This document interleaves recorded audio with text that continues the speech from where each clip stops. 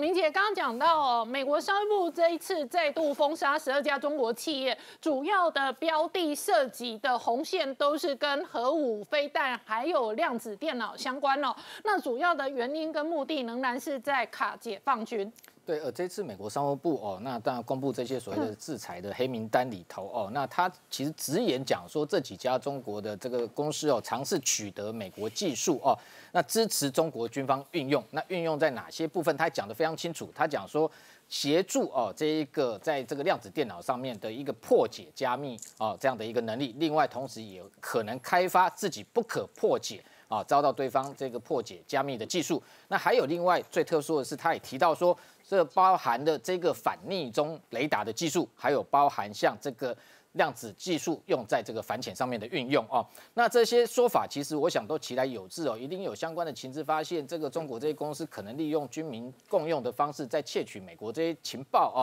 那我们回到这一个中国到底在量子科技上面哦，主要是用采取什么样的战略哦？我引用这个二零二零年去年十月哦，习近平出席一场哦，这个中共内部科技呃量子科技研究运用的第二十四集。呃，第二十四次集体学习的这个会议里面，他的讲话啊，他强调说要借鉴国外做法哦，那找出中国量子科技发展的切入点跟突破口，要借鉴国外做法，其实讲的已经非常的明确哦。那透过这样的方法来强化中共内部哦这个量子战略性的新兴产业的一个发展哦。那在今年的三月五号，又再次提出这个包含像“十四五”计划里头，就把 AI 跟半导体中间也加列了这个量子。技术啊，把它当成重点对象。好，那量子技术在解放军内部目前的一个发展状况哦。刚刚讲到美国商务部其实点的非常清楚哦，有两大重、三大重点。第一个是量子电脑，第二个其实就是量子雷达，第三个是量子的反潜的一个技术运用哦。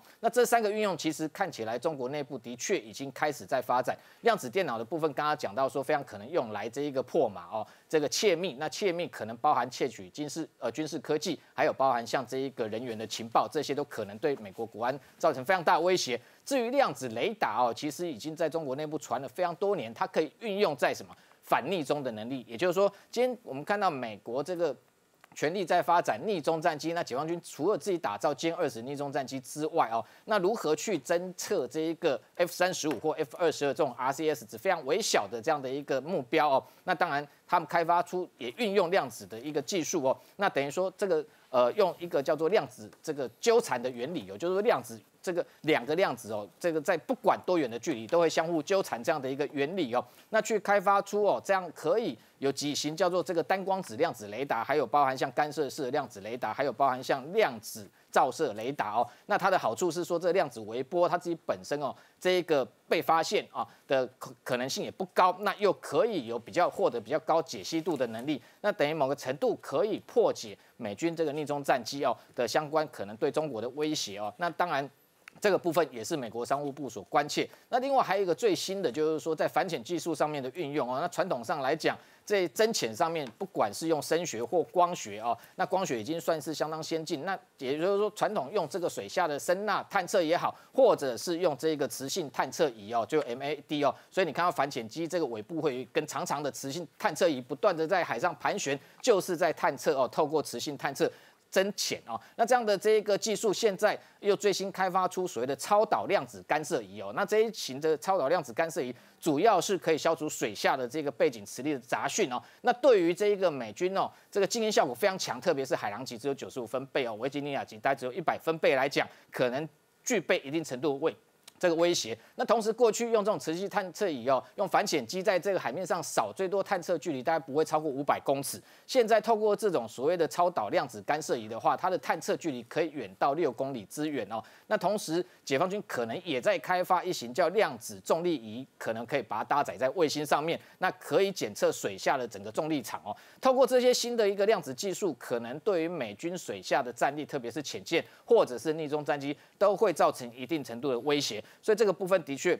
为什么被列为黑名单哦？当然，美国商务部当然也跟美国国安单位是有合作的，这个部分当然全力在阻止这个中国可能窃取类似的量子技术。那美国的专家认为说，目前来说量子科技哦，基本上基础科学的研究上面来讲，美国跟欧洲还是领先，但是很担心中国获得这些技术之后拿回去加速开发，未来类似的量子雷达或者相关的技术可能部署的时间可能就会超越美国，这样的威胁是存在的哦。那同时，当然水下舰这个战力的一个强化哦。我们刚刚讲到说，美军现有的核动力，不管是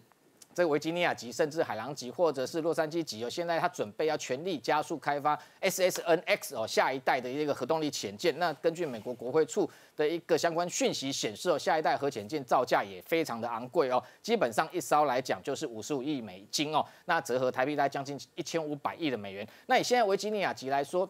造价已经逼近八百亿台币哦，这样的规模，所以这样子其实等于是两倍的过去的一位维吉尼亚级的价格。那这样的潜舰哦，未来当然它主要目标是要搭载更多的鱼雷哦。目前来讲，海狼级可以搭载五十枚已经是极限，那未来可能会增加内部空间，满载可能水下可以到这个九千一百吨。但是这个可能透过其他各方面的一个设计的调整，会让它可以搭载超过五十枚的鱼雷之外，还可以搭载这个无人的潜航器哦。那也具备更安静或逆中的一个能力。所以可以看得出来，美中双方啊，不管是用量子科技，或者是水下的潜舰各式逆中的技术，相互的都在这一个进行这个科技上面的对抗跟角力。好，我们稍后回来。